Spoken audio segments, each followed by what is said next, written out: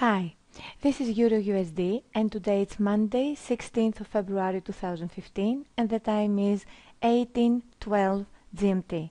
I'm Sofia Stavropoulou and this is a video signal for Forex ID Academy members, FX FXholics Forex Signal Subs users and WhatsApp Signal subscribers. I'm using Ichimoku Kinko Hyo, Bollinger Bands, Fractals and Stochastics. This is the daily time frame of Euro USD and we see here that the median Bollinger Band keeps falling and we had two swing highs above it uh, one after the other and the latest one uh, is completed today uh, we have a, a, swing high above the median Bollinger Band, which is a bearish continuation pattern.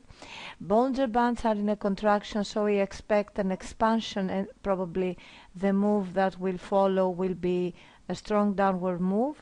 The distance between the price action and the Kumo, the body of the Kumo, um, doesn't show po any possibility for a reversal uh, for now. If the reversal happens, it will not happen now.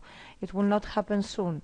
So downward is the direction of the price for the pair for now. Let's go to H4 time frame and look for an entry. We can we see that on H4 on H1 the breakout has started.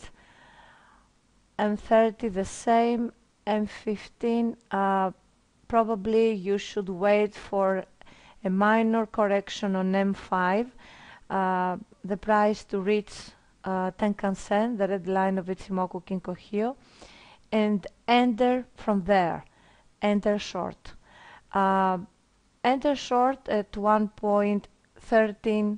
1.1335, 1.1340 uh, price level Place your stop loss above the body of the Kumo on H4 at 1.1410 and uh, you can place your take profit target uh, at the lower Bollinger Band on daily for now at 1.1177.